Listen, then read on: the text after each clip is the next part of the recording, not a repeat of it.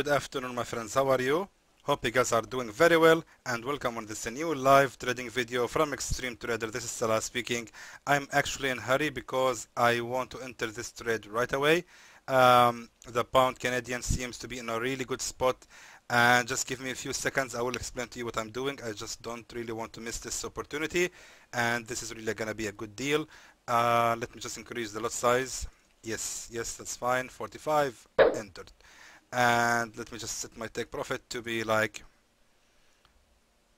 20 pips if possible. Like that. Yeah perfect. Almost 20 pips. All right. So welcome on this new live trading video. This is Salah speaking. And let me just tell you my friends what I just did here.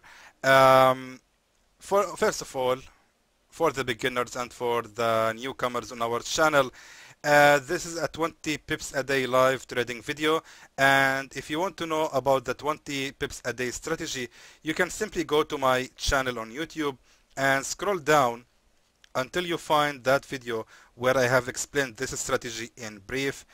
Uh, the video is I believe right here. 20 pips a day. Forex strategy 20 pips a day. Uh, watch this video because it's really very important. It is explaining uh, what is the strategy I'm going to use in this video. You can follow it up with these videos also about the live trading, uh, such as this one 20 pips a day live trading. And there are actually so many of them like this one here and this one here, this one. There is uh, just so many of these videos about the live trading using this strategy. So about this trade for the pound Canadian, what did I do here is actually I check the 4 hour chart and I can see that I am on a very clear resistance level. Right here we have resistance number 1 and we are right now on the creation of a support number 2. Now the next thing I did is switch to the 30 minute time frame and by switching to the 30 minute time frame I can see that the candle was here on the very same level of this previous support which was also here a resistance. However I really cannot see much from the uh, 30 minute time frame so I had to do something I had to switch to the 5 minute time frame um, the thing I want to explain here that when you are scalping it's always a smart idea to switch to the to the bigger time frame just to know your level on the market if you are on a support or resistance then switch to the smaller time frames to decide your entries now by switching, switching to the 5 minute time frame, what I see here is this. I can see that we are right now on the very same level of this support resistance, uh, sorry, or this resistance, on this resistance level right here, which has been followed up by this bullish breakout candle, and this support, this support has become the new sorry sorry I, I'm just not thinking because I'm watching the price. Okay this resistance has become the new support level. Then what happened next is this support level which has been created recently has become the new resistance after the breakout candle. Look at that. We can see that this support has been broken out by this bearish breakout candle and then the market went up to retest this very same level. Now what what did I do is placing my sell order exactly on this level here and therefore the trade is going right now in good profit. And since I have entered my trade right here on the previous support which was a resistance where is the next uh, or what is what is the nearest support or resistance? The nearest support is of course this one here that is the nearest support. You can assume that this support as well. However I decided to choose this support because I really don't think the pair is gonna reverse before reaching this support level. So uh, good uh, trade we caught on the pound Canadian. Uh, let me now try to enter another trade and just let me reduce the lot size. 0.30 is enough. Let's go back to the 4 hour chart and this time let's try to find uh, another setup so let's go to the pound NZD. Uh, it's gonna be late for the pound NZD if I want to enter any trade because we can see that the reversal has already happened. Uh, this is the resistance. I am on the 4 hour chart right now. We can see that the resistance number one uh, is here and the resistance number two is happening right now. Therefore, um, it's actually late because the pair has already reversed from this resistance. Sorry about that. Okay, let's check something else. Um, the Euro USD, just one second. All right. so let's look at the euro USD and what we can see right now is we are on a resist uh, between uh, support and resistance so the current price as I said between support and resistance and therefore I don't really think it's gonna be a good idea to look for any setup on the euro USD right now we cannot really scalp the market on this on such condition uh, this one not good as well. This one not good as well. We just need to find really the right setup where we can uh, find our sell look at that. This is a good one. This is a very good one. We can see clear uh, resistance 1 and right now we are on the top of resistance 2 so on the 4 hour chart I check already that we are on, on the resistance so we need to look now on the smaller time frames to find a good level for another sell because on the resistance we are going too short we are never buying unless we are using the breakout candle strategy of course. So looking at the left I can see that this is the top of the resistance this one here and we see the market is not really able to break out from this level and we can see these two candles representing a price action of a bearish reversal because the market uh, has made an attempt to break out from this resistance. We can see that the candle is so far not able to, to do that. It's not able to break out. And I think it's gonna be a good idea to start short the AUD CAD for scalping. However um, let me just uh, short it first. Good. And by the way you can notice that there was no spread and my entry point was exactly on the current price that is of course because I'm using IC markets with their zero spread and if you want to try them out you can find the link in the description. Uh, you can sign up and try their service. Anyway um, now I entered my trade right here and I wanted to mention that it is called 20 pips a day strategy right? 20 pips a day strategy. However that doesn't mean that every single trade you enter must be targeting 20 pips that is not possible.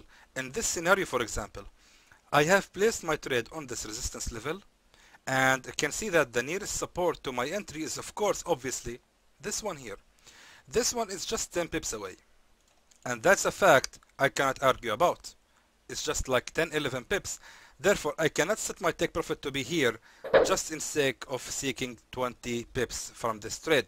That is not gonna do it and I will end up uh, failing this trade if I did that so to be safe just select your target to be 20, uh, at the nearest support which is hopefully gonna be 20 pips or less anyway uh, in this scenario it was 10 pips and therefore I will just take it I have to mention also that actually trading on the pound pairs or the gold can give you really good results because one small reversal on these pairs can give us a lot of pips.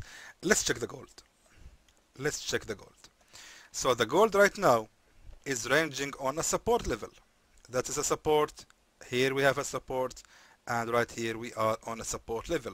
So again on the 4 hour chart I am on a support level. So that being checked, go to the 30 minute time frame and let's see if we can get any good entry for buying the gold. Now looking at the left, we can see that we have here a strong support level and right here and right here. Just mark your support levels and we can see that the market has already reversed after the uh, bullish breakout candles. We can see that the market has reversed exactly on the same level of this previous support, even this one right here. And we can see that this support level has also been respected and the market reversed exactly on that support. So meaning another way uh, currently there is no good entry for the gold. What I need to do is actually I need to mark the recent support levels such as this one here. And I was looking actually on this support level and this support level right here. So my next good entry for buying the gold is gonna be when this candle make a reversal retesting this broken out support level and then I'm, I'm gonna place the buy order. You know what? I can actually start buying the gold now but that is totally different strategy. I don't want to show it here. It's not gonna be a smart idea to show another strategy in this video. Anyway uh, we can actually buy the gold at this point and keep the trade running all the way until hitting this previous resistance right here. Uh, I'm not gonna do that. I will just wait to see if this candle uh, if it's gonna be weaker. And if the candle getting weaker I'm gonna place another buy order exactly on the support level so that might take some time because we are on the 30 minute time frame and we don't have much time. I want to finish this video quickly.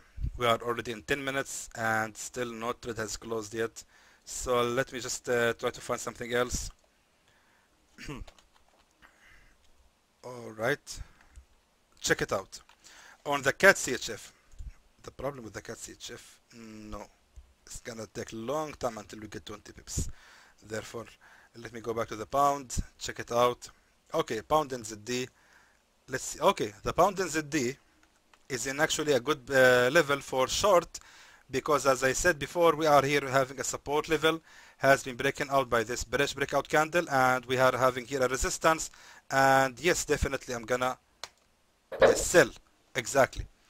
Now the reason as I said on the 4 hour chart we are on a resistance level and of course it's obviously resistance number 2 because here we have a resistance 1 and right here we are on resistance 2 uh, switching to the smaller time frame 30 minutes we can see clearly that we have here a bearish breakout candle and here we have a previous resistance. I'm relying on this previous resistance actually uh, to see the market reversing. Let the candle try to break out from this level. Let, let the candle try. Don't get uh, you know don't get panicked don't scare just uh, have guts to enter the trade uh, just relying on this resistance and hopefully you will end up in profit. So since I have placed my trade right here where is my my take profit level? Sweet. It's on 20 pips exactly because that is the nearest support to my entry here. So I entered my trade here because I have here this previous resistance and the nearest support or resistance to my entry is the very same bottom of this candle right here. That is actually the nearest support. We can see the candle already falling down. Look at that. Fantastic. Wonderful. I was in $30 of loss and immediately I am in good profit. That is because I'm actually trading on the pound. I really advise you, my friends, to, to try the scalping on the pound pairs. They are really very profitable, yet risky. Because the the pairs, the pound pairs, they are moving very fast, and one small reversal can give you a lot of pips and a lot of profits. I am making a living from forex from these bounces. Do you see this bounce here? That is what make me actually making a profit from Forex. I'm not the kind of person who like to place a trade and keep it running for days or nights. No, I don't like to do that at all. This is the, the bounce I'm seeking. It is giving me enough profit and we can see that the small bounce so far giving me almost 10 pips of profit. Now how cool is that? That is what I'm talking about. That is the scalping. Just look for these bounces. These are what we are looking for. So let me now pause this video and I'll be back to you Uh, later to show you hopefully the good profit we, we are going to make from this trade. So we can see that the pound NZD is very close to hit the take profit level. Almost 19 pips of profit have been made from this trade. Fantastic, very good. And I'm going to close it right now with a good profit of $36. We got a good deal on the pound NZD and we can see the reversal happened right here and the candle is still going down. That is great. That is great. Let's check the other trades. Uh, the pound Canadian is still going in profit. And by the way, I'm on the five minute time frame right now. Um, even the AUD CAD is going in profit. A lot of my friends asking me which time frame should I go? Why sometimes you go to the 30 minute time frame, sometimes the 15, sometimes the 5. Guys, the whole, the whole idea is find your level on the bigger time frame, then switch to any small time frame you want to find a better level for your entry we know that I want to place a sell order here. So right now I'm on the 4 hour chart, AUD Canadian. I want to see that I can place sell order. Good. Now the first, uh, the first decision of placing sell order has been made. Go now to the smaller time frame. I don't care. You can go to the 1 hour chart, 30 minute, 15, 5, whatever. Just find any good resistance or support level so you can actually sell. Right now I find that the good level of the resistance is right here which was also a previous support here. Um, this is of course on the 5 minute time frame going to the 15 minute time frame uh, I, I, think the 30 minute time frame yes uh, I decided my entry on this level because I saw that I am here having a resistance level right here also and this price action indicating weakness in breaking out from the level. If the candles were able to break out from this level, we could have seen different candles, not like that. So that was actually good indicator telling me that it is good level to start shorting the AUD Canadian. So we have still two trades running and I'm gonna wait for them both to finish. We can see how the pound Canadian now is starting to fall down in good profit. We are going to wait for it. And let me now pause this video and I'll be back to you once these trades are over. Okay, my friends, let me just take you through what's happening right here. Uh, this trade so far is not going well at all for the pound Canadian. The pair has made just sudden uh, reversal here and it started going in a bullish reversal. So far it's going 11 pips of loss. Uh, let me just, uh, I'm thinking that I should actually close this trade with a loss because we can see that this resistance here, like that, is now became a support level right here. And this price action on the 15 minute time frame usually indicating that the, the candle right, right now is gonna continue its bullish reversal. It's gonna continue flying all the way until hitting this resistance level. Therefore uh, sometimes we should know when to just back up. And I think I'm late actually. I wanted to close this trade with uh, only 35 36 dollars of loss. Uh, sadly I'm late because of the recording only and right now I think we are going to close it with almost 44 however let's just continue analyzing. As I'm telling you always uh, we can see that we have here a support level. And this support or these uh, small tails here. They are the closest one to this bearish breakout candle. Now according to my understanding and what I, what I know from my long experience in the scalping usually we can expect a reversal right here so what I'm going to do is I'm gonna actually wait some few minutes, uh, like six minutes only, because six minutes is uh, until the closure time of this current candle. And let's see what will gonna happen. I believe this candle is gonna close below this level, and by that I can reduce my losses. However, I'm gonna close with the loss anyway. I'm just trying now uh, right now to reduce my losses to the maximum. So I will just uh, wait more time. Actually, we are just in 11 pips of loss not a big deal. Uh, the AUD CAD is still going uh, in loss as well, but we are at least very close to our entry levels, just like one, uh, just two pips away from our entry level. So we are so far still good. I just need to wait another 5 minutes 20 seconds until the closure of this candle. Meanwhile, let's try to find some other trade and hopefully I can recover these losses. So let's go back to the 4 hour time frame. And on the 4 hour time frame on the pound JPY we can see that we have here a resistance level and there is a bearish breakout candle right here and we are having another candle on the very same level of the resistance. Meaning most likely the market is gonna continue falling down until hitting this support level so we are in good position for sell. Go back now to the 15 minute time frame. This is the 15 minute time frame. Okay good. We can see that right now we are on the resistance level right here. And actually we are very close actually. Almost yeah we are there already. I believe I'm going to place the sell order right now. Right now. Uh, let me just highlight something here since I placed my sell order on the pound JPY we can expect for the pair or before that let me just tell you something I have marked my resistance line here in a way that the line is touching all of the wicks on this resistance. Now that is my entry point. We can expect for the pair to continue going a little bit more up until hitting the top of this resistance before it actually start its bearish reversal and start giving me some profits. Right now we are in actually big a uh, little bit uh, no we are actually in uh, in loss. I don't want to say big loss or small loss. That is medium actually and let's just uh, set uh, the take profit here check it out that is the nearest support to my entry and it is not 20 pips far away it is only uh, 15 pips away meaning that is my target level. Is gonna be just 15 pips instead of 20 because as I just mentioned we need to be realistic and logic about our entry levels or sorry about our take profit levels. So let's see what's happening right now. Uh, we are having here another resistance. Just uh, look at that. Perfect perfect. We can see that the pair has already started reversing. This is the pound Canadian. We are back to it and we can see that we have here a resistance level right here and right here and here.